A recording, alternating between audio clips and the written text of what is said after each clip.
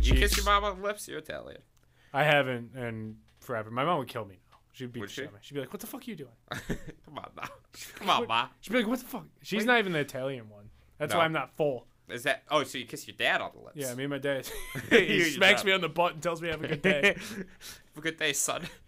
Thanks, pop. and I skip out. Yeah, thanks, pop. Tom Brady. Tom Brady, your dad every day. Yeah, Slip a little tongue in. I've s- they. That's so weird. They like make out, Did you ever see when his son he's on the massage table or and his whatever? son's just on him, and he's shirtless, and he's just. yeah, they're kiss- kissing like that. It's very passionate. And then to know like Tom Brady did it with his dad. yeah, I've seen them kiss too as like two adult men. Yeah, that's what takes. That's that's how you become a champion is being gay with your father. If it was between you and Ben, who would kiss your dad first? Do you think? Ben, You think so? I would never kiss that man.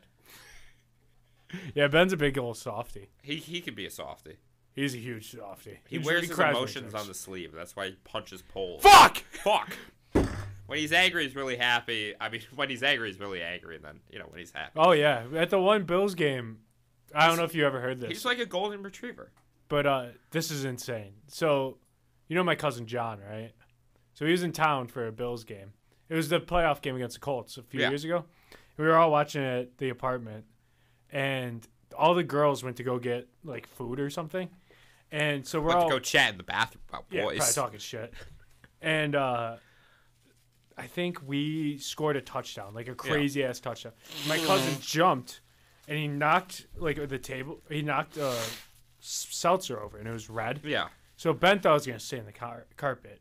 Like a rational human being, he takes a full pounder and hit whips it at my cousin, hits him in the eye. He still has a scar from the can cutting his eye open from celebrating that, and it was just seltzer, and it came right out. Jeez. I have a dent in my forehead because he threw a rock at me.